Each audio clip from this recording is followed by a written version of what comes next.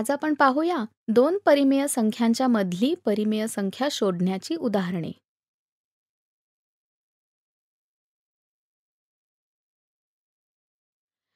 शिक्षकांनी अर्णवला सात छेद चार आणि नऊ छेद चारच्या मधल्या तीन परिमेय संख्या शोधण्यास सांगितले.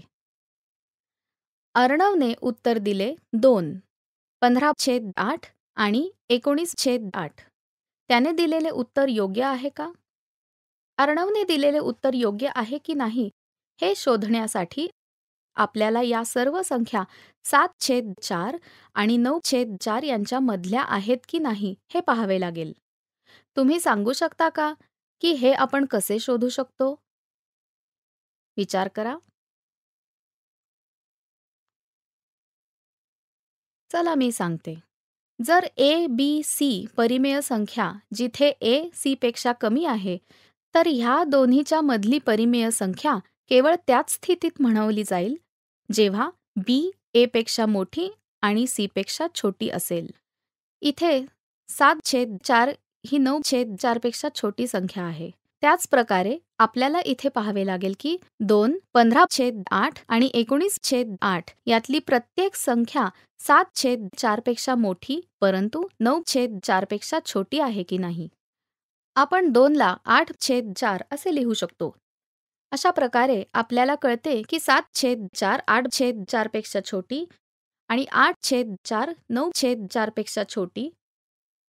म्हणजेच दोन सात छेद चार आणि नऊ छेद चारच्या मधली परिमेय संख्या आहे. पंधरा छेद आठ देखील या दोन परिमेय संख्यांच्या मधली परिमेय संख्या आहे का? विचार करा. अगदी बरोबर. जर आपण सात छेद चारला चौदा छेद आठ आणि नऊ छेद चारला अठरा छेद आठ लिहिले तर आपल्याला समजते की चौदा छेद आठ पंधरा छेद आठपेक्षा छोटी आणि पंधरा छेद आठ अठरा छेद आठपेक्षा छोटी आहे.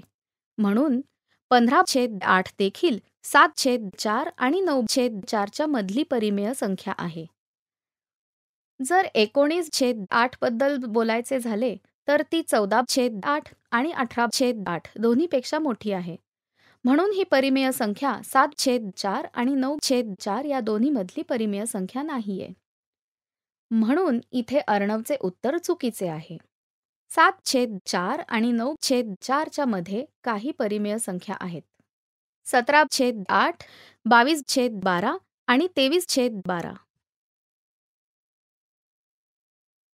पुढील उदाहरण वजा चार छेद अकरा आणि दोन छेद तीनच्या मधल्या दहा परिमेय संख्या शोधा.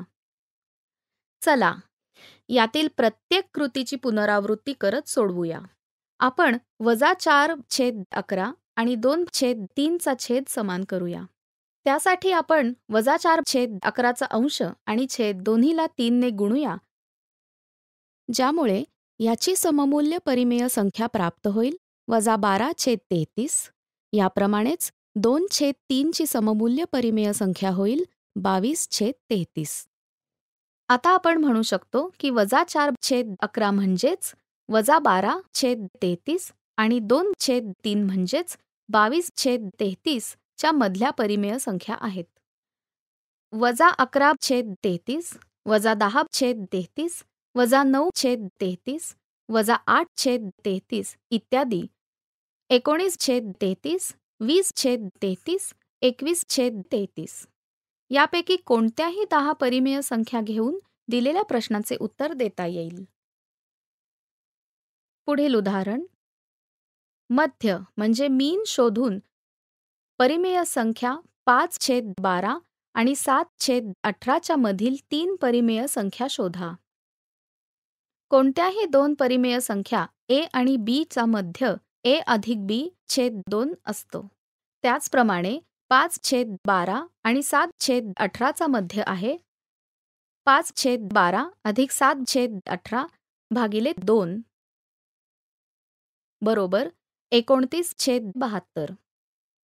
अशा प्रकारे व्हिडिओ थांबवून तुम्ही पाच छेद बारा आणि एकोणतीस छेद बहात्तरचा मध्य शोधा.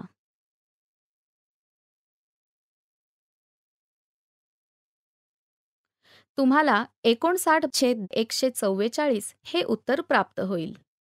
अशा प्रकारे आपण एकोणतीस छेद बहात्तर आणि सात छेद अठराचा मध्य शोधू शकतो. याचा मध्य असेल एकोणीस छेद अठ्ठेचाळीस. त्याचप्रमाणे पाच छेद बारा आणि सात छेद अठराच्या मधल्या तीन परिमेय संख्या आहेत. एकोणसाठ छेद एकशे चव्वेचाळीस एकोणतीस छेद बहात्तर एकोणीस छेद अठ्ठेचाळीस. आता तुम्ही चौदा छेद पाच आणि नऊ छेद अकराच्या मधील तीन परिमेय संख्या स्वतः शोधा. तर आज आपण पाहिली दोन परिमेय संख्यांच्या मधील परिमेय संख्या शोधण्याची काही उदाहरणे.